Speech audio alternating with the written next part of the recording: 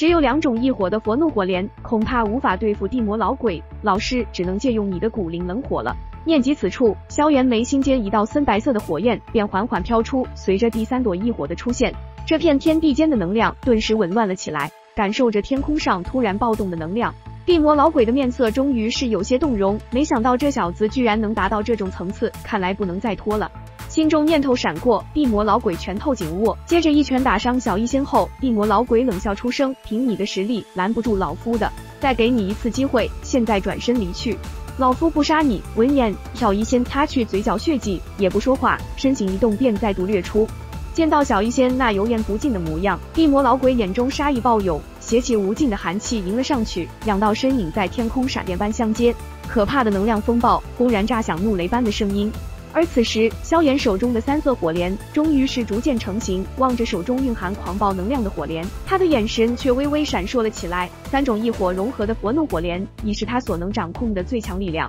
若以往他自信此物能斩杀或重伤诸多斗宗强敌，但今日的对手实在太过强悍。那七星斗宗的实力，即便是放眼整个斗气大陆，想必也能算是金字塔上层的强者。念兔闪过，萧炎张口一吐，一道灰褐色火焰闪掠而出。望着那从方言三人手中抢来的化身火，萧炎深深的吸了一口炽热的空气，旋即面庞浮现一抹狠厉，心神一动，便将那灰褐色的火焰投入了三色火莲中。随着化身火融入火莲那一刹，整片天际所有的声音皆是完全消失，一股充斥着毁灭的恐怖能量悄然滋生。与此同时，在战场的另一边，韩风与苏千的身体突然同时一颤。而后猛地抬头，惊悸的目光望向天际。当他们发现那毁灭能量的制造者后，均是面色呆滞了下来。只见在遥远的天空上，萧炎的手中漂浮着一朵斑斓火莲，这火莲的颜色比之以往的都要浓郁，看上去也格外美丽。然而在这妖异的美丽外表下，苏千使劲的咽了口唾沫。他以往也见过萧炎施展那威力不俗的火莲斗技，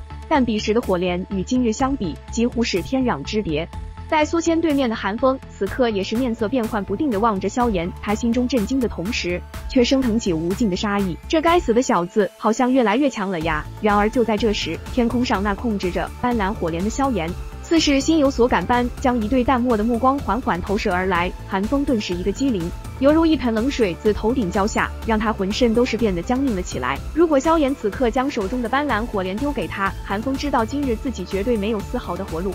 心头惊惧下，而后哆嗦着将目光慌忙移开，望着那一脸惧怕的寒风，萧炎苍白的脸庞上浮现出一抹嘲讽的笑容，而后他收回视线，紧紧地盯着面前这朵斑斓火莲。要知道，这斑斓火莲内那股恐怖的力量，哪怕稍微外泄一点，这片天际都将会瞬间被摧毁，而首当其冲被毁尸灭迹的，恐怕就是他自己。感受着来自那火莲散发而出的毁灭能量，地魔老鬼的脸色首次变得难看了起来。他袖袍中的手掌更是忍不住颤抖了一下。他从未想过，一个自己随手就能碾死的四星斗皇，为何能爆发出这种可怕的力量？地魔老鬼张了张口干舌燥的嘴，嘶哑的声音缓缓传出：“小子，你别冲动，老夫现在就离去。”话音响起，整片天际再度陷入了异样的安静。听着地魔老鬼那嘶哑的声音，无数人皆是有种荒诞的感觉。一名与院长大人同一时代的强者，那货真价实的七星斗宗，居然在面对萧炎时说出了这般服软的话语。萧炎目光毫无情感的望着地魔老鬼，再看嘴角隐带血迹的小医仙，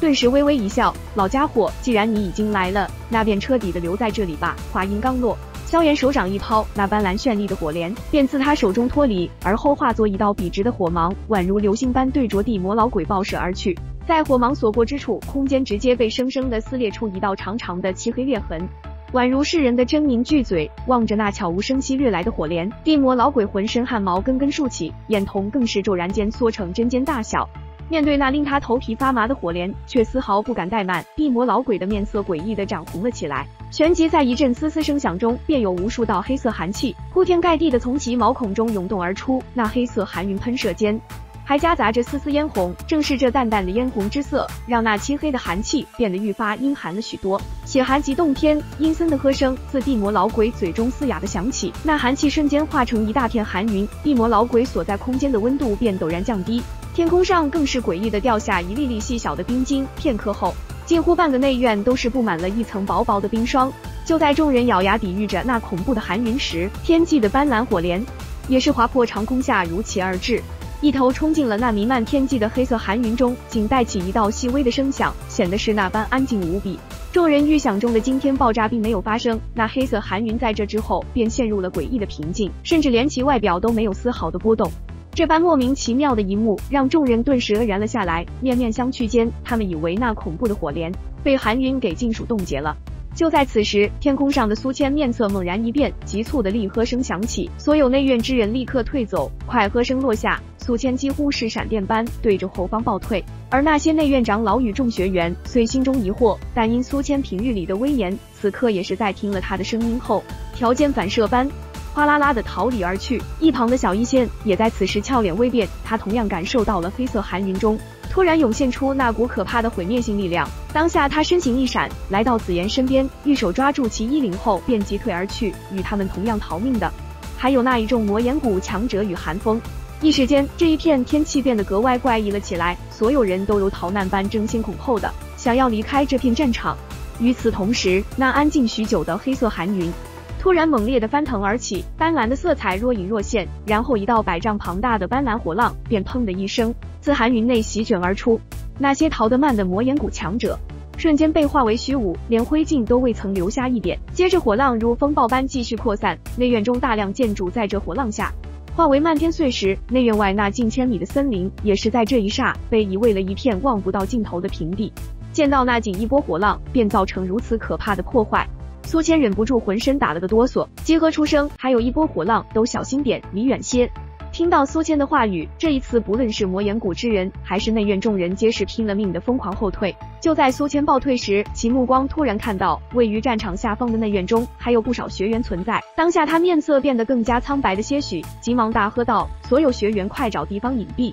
喝声响起，内院再度陷入了一片慌乱之中，无数学员四下逃窜，寻找隐蔽之处。现在他们也算是看明白了，天空上那可怕的斑斓火莲，自从射出后便已脱离了萧炎的控制。就在众人惊慌失措之时，那漆黑寒云中陡然升起一轮宛如耀日般的庞大火球，在那火球内所蕴含的毁灭力量，直接是令周遭空间极度扭曲起来，一条条漆黑的空间裂缝如无数毒蛇般若隐若现。望着那巨大的火球，在场之人，包括他的制作者萧炎，皆是面色变得惨白了起来。众人都知道，若这火球爆开，恐怕内院及方圆百里都会顷刻间化为虚无。对于这火莲为何会变得如此恐怖，萧炎也不清楚。他在火莲投入黑云的瞬间，便彻底失去了控制之力。在他想来，或许是因极热与极寒两气相互碰撞下，产生了些许异变吧。但不论是什么原因，任由这个火球爆发开来，内院所有学员将会尸骨无存。念及此处，萧炎心中不由得苦笑一声，这次似乎真的完大了呀！深吸了一口气，